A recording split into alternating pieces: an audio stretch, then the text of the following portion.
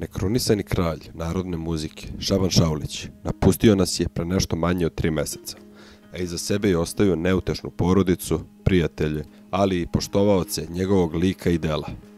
Pevač je poginuo u Nemačkoj i to kada se vraćao sa nastupa na putu ka aerodromu. Njegova kuma, Zorica Brunslik, je jedna od onih koja je najteže podnela Šabanov odlazak, a sada je donela jednu važnu odluku koja će sve iznenaditi. Naime, Zorica je odlučila da se vrati nastupima, a prvi koncert koji će biti održan nakon Šaulićeve pogibije bit će u Nemačkoj. Podsećanja radi, Zorica je nedavno postala baka kada se porodila njena ćerka Zlata, a nesumnjivo je da je ovo pevačici i tekako pomoglo da prebrodi težak životni period.